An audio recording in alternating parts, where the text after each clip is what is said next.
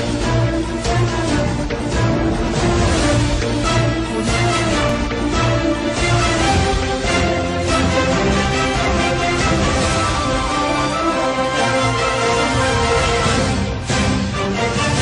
प्रदेश के उमरिया ज़िले के मानपुर थाने अंतर्गत ग्राम ताला बांधवगढ़ निवासी आठवीं कक्षा की छात्रा अपने ही घर से रहस्यमय तरीके से लापता हो गई। छात्रा के परिजनों ने बताया कि वे सब लोग घर पर नहीं थे काम करने के लिए बाहर गए हुए थे। और जब काम से वापस अपने घर आए तो देखा कि लड़की घर से लापता हो गई है। इस संबंध में पड़ोसियों से भी पूछताछ की गई, लेकिन कोई सुराग नहीं मिला।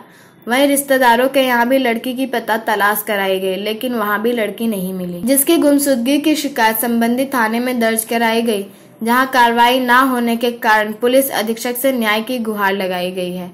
वहीं पुलिस अधीक्षक असित यादव ने भी छात्रा की गुमशुदगी मामले को गंभीरता से लेते हुए साइबर सेल एवं थाना प्रभारी को निर्देशित किया है। पेश है उमरिया के संवाददाता शंकर सिंह की खास रिपोर्ट। तारा चौकी में एक नाबालिग बच्ची की का गुमशुदगी का मामला है।